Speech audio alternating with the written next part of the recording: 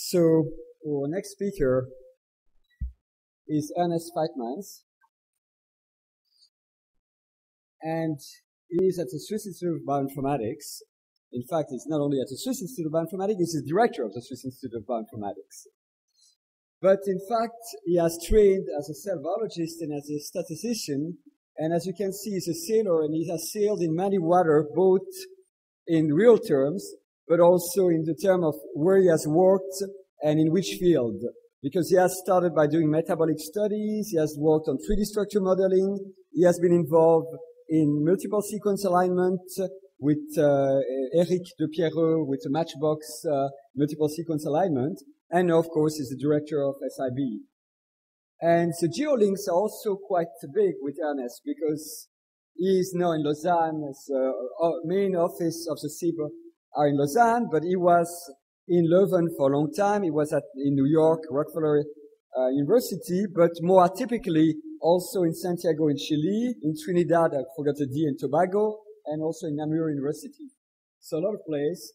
And biolinks are basically also quite big because it's everyone at the SIB, I mean, from the group leaders and uh, all of the members. Two other things about Ernest. One, which, I mean, you, I mean, of course, the SIB members know, know about it since uh, Christmas, I think two years ago, but a lot of people don't know that Ernest was an astronaut candidate, I mean, at the European Science uh, Agency. And uh, he was selected as a Belgian astronaut. So, no, this is not a joke. This is an official, this is true. It's, it's not to believe it, but and another thing is that he has worked as a statistician and some of his papers are quite interesting because one of it is not only a statistic paper written in Chile and it has nothing to do with the field of bioinformatics or molecular biology. It's on the process, sorry, it's a process of decision making by the student in selection of answers to multiple choice questions. In Spanish, in the review, I think medical of Chile, I mean, so you see that he's a man with a lot of, we call it in French, et qu'il a beaucoup de cordes à son arc. I don't know how you said that in English. I mean, a lot of uh, uh, of uh, string on his uh, bow. Okay, so.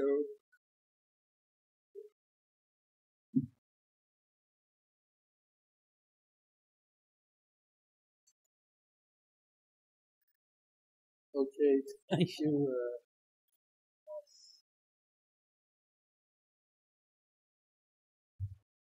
Um, Okay, after that, I, I, it's difficult to start uh, to speak about uh, the SIB. Uh, but uh, okay, I'm here to try to explain to you what the Swiss uh, Institute of Bioinformatics is. So I'm not here to present some scientific paper, but just to, for the people who don't know, to show you what the SIB is. So, first, uh, when when someone thinks about an institute, if he thinks about a building located in some place where you have all the scientists together working in bioinformatics. And then sometimes they ask me, uh, where are you working? And I say, yes, in Lausanne. And uh, the day after they say, where are you working? In Geneva. And then it will be in Basel. And then it will be in Zurich. So they say, but what is that for an institute? And in fact, it's an institute that is distributed all over Switzerland. There are groups of the institutes that work uh, in, in Geneva, others in Lausanne, other in Basel, other in Zurich.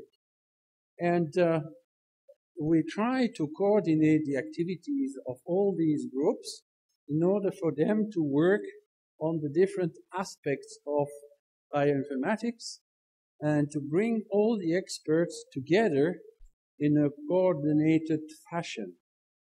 Also, the SIB is partner of all the universities uh, of these different places. I will explain you how this is working. And also the SIB is participating in some teaching at the master's degree and the doctoral degree. So I will show you that also. So here you have Switzerland. As you know, Switzerland is a small country, And in fact, that's why we have to organize our meetings in Brazil. But anyway, uh, you, you see here in this country that uh, we have the SIB indicated in several places. And what happens is that we don't have a building by ourselves. Uh, we don't have to pay for a building by ourselves. In fact, what we have is agreements with different university academic institutions.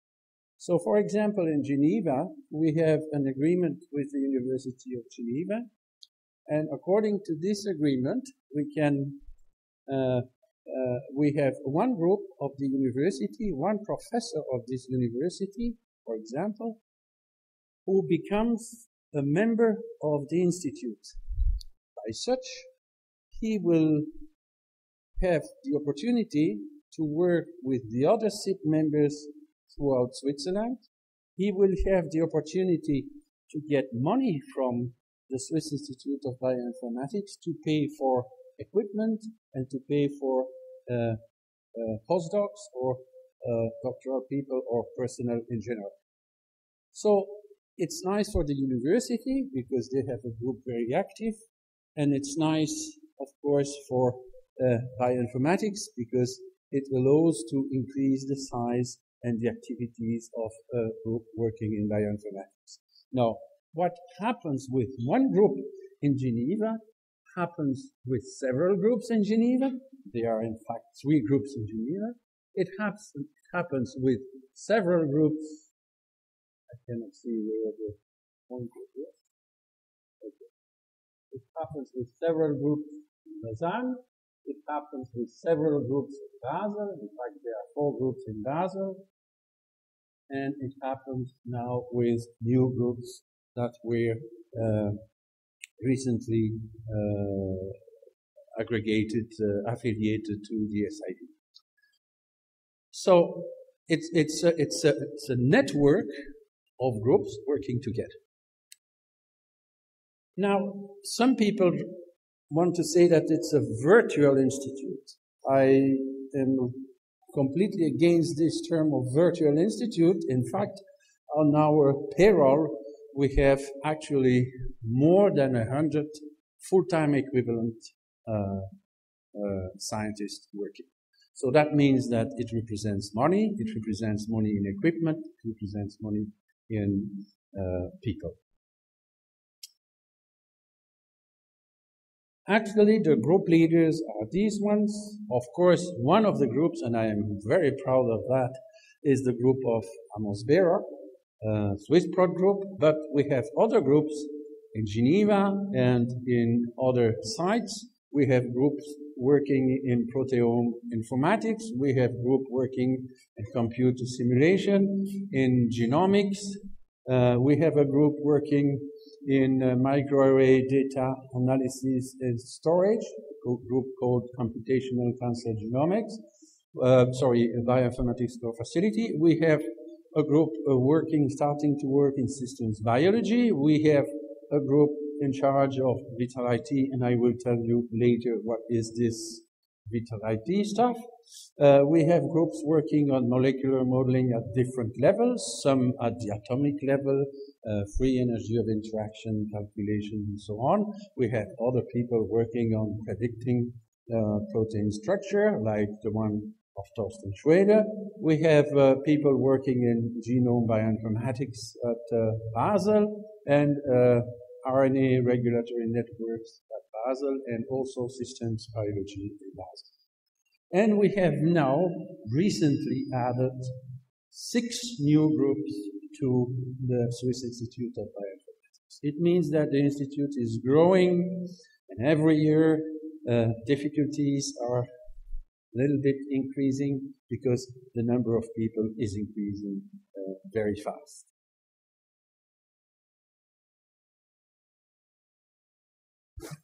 Of course, as you can see, one of the groups is the one having the highest number of people. It's the Swiss Prot group. That's no mystery. In fact, the SIB originally was created to allow this group to survive It was really a matter of surviving at a time where uh, subsidies were cut. So the institute was created for them, and of course, this remains the, the, the, the highest, the biggest group within the institute. Nevertheless, you can see that the other groups are quite uh, numerous. Some groups are about 10 people in size, which is not at all negligible.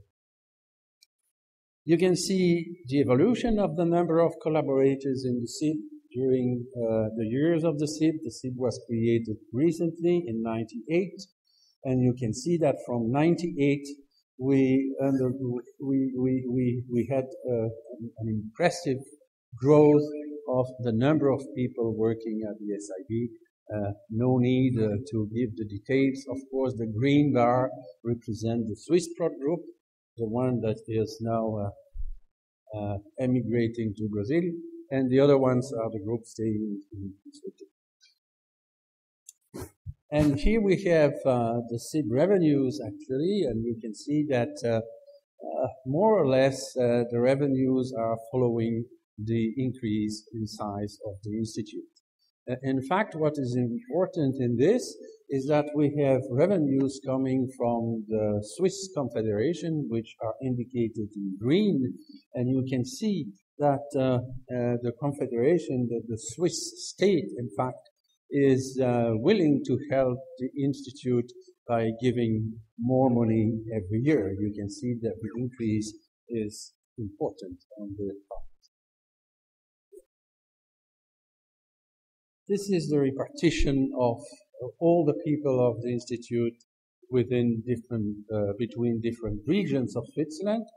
And uh, Geneva is quite big because uh, of the group of Swiss Prot. But anyway, you can see that in Lausanne it represents about 30% of, of uh, the whole people, and in uh, Basel 16%. Zurich is, is, is few, 7%, because they just started the new group we just added this year in July. Okay, so the activities I gave already some uh, some indication. Uh, research and development activities related mainly to database and software that are developed within the institute. Uh, teaching at the level of master's degrees that are organized in different partner universities and SIB members are uh, participating, uh, helping in that. And then we organize also a Swiss doctoral school. And then, of course, all what is related to database software service to uh, the biomedical research community in Switzerland and abroad. And finally, what is quite important, and I will just give uh, a few indication about that, uh, the Institute uh, created a high performance uh, center, computing center, exclusively dedicated to life science. And this was created by the partnership of different universities and three private companies, HP, Intel, and Oracle. Okay, I will skip this. So, uh, the challenges in, in computational biology are such that uh, there is uh, computational problems in genome analysis, in proteome analysis, in expression profiling, microarray, SAGE, MPSS, ESTs, comparative genomics, modeling of macromolecular systems, of course, proteins and prediction of protein structure and so on, and then modeling of complex systems in systems biology. And uh, uh, in, in the in the years now, the evolution is toward an increase in computing requirement, computing speed. Uh, according to the, the problem, we are going towards systems biology in which we will require more than one petaflops of, of uh, computing speed. And storage, uh, the capacity that is required is also increasing very, very fast. And uh, the network uh, transmission speed is also increasing uh, amazingly. So that really biology requires its own tools. And for that, this center called Vital, IT was created. It's a, I, I told you, it's a joint venture between academic and industrial partner, and it's a high, high performance computing center exclusively dedicated to life sciences. And uh, of course, it has some research and development projects that relate to the particular platform and uh, particular CPUs that are used, Itanium 2, and optimization of code on this architecture, and uh, adapt software to the cluster environment, and to develop uh, ad hoc software. But also to respond to infrastructure projects in bioinformatics. Uh, that means uh, for the research projects that are developed in bioinformatics, and among them there are two that are now quite impo- important for us. One is providing the resources for Swiss BioGrid and uh. Just a word about that. Uh, the institute is now in charge to develop uh, Swiss BioGrid uh, in conjunction with the Center of Scientific Computing uh, of the ETH located in Lugano, also with Novartis and with the Friedrich Miescher Institute and the ETH. So, and sorry, and Biocentrum, I forgot Basel, of course. And uh, uh, in this large, larger scale computational application that are required in bioinformatics, um, this uh, BioGrid will help probably to uh, use distributed high performance computing and uh, high speed networks and data collections and archives. And uh, in fact, the Center for Scientific Computing located in Lugano, Lugano is in charge of the grid infrastructure and Vital IT is in charge of providing web service validation and optimization. And finally, there is a, a, a big project in Switzerland, which is uh, the Systems X project, which is a project to develop uh, systems biology in Switzerland at a huge level. And uh, it's a joint venture between ETH Zurich, uh, the University of Zurich, the University of Basel, and now others that are coming from other parts of Switzerland, like the University of Geneva and Lausanne. And uh, this uh, huge initiative is now had now 10 million francs for start, but will ask for 100 million next year. So it's a huge initiative in which a huge center for systems biology will be developed. And this center will work with the help of Vital IT, which will collaborate to provide core computing resources to Systems X in its new projects. And that's what I wanted to tell you about the SIB. I have many other things to tell, but I have no time. And I would like to thank all the people of the SIB, but I have no, not enough space on this slide to put them all. So thank you very much.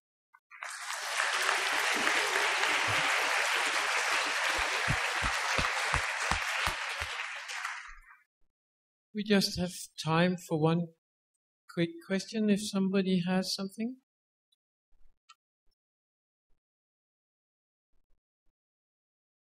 It does not seem to be the case. So thank you again. Oh, is there? There is a question. Sorry.